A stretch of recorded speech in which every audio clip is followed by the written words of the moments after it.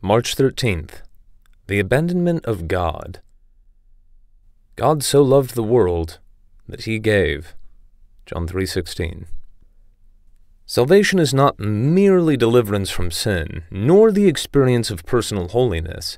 The salvation of God is deliverance out of self entirely into union with himself. My experimental knowledge of salvation will be along the line of deliverance from sin and of personal holiness. But salvation means that the Spirit of God has brought me into touch with God's personality, and I'm thrilled with something infinitely greater than myself. I am caught up into the abandonment of God.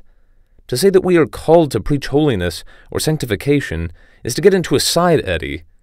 We are called to proclaim Jesus Christ. The fact that He saves from sin and makes us holy is part of the effect of the wonderful abandonment of God.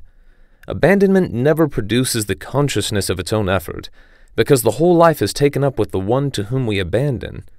Beware of talking about abandonment if you know nothing about it, and you will never know anything about it until you have realized that John 3:16 means that God gave himself absolutely. In our abandonment, we give ourselves over to God just as God gave himself for us, without any calculation. The consequence of abandonment never enters into our outlook because our life is taken up with Him.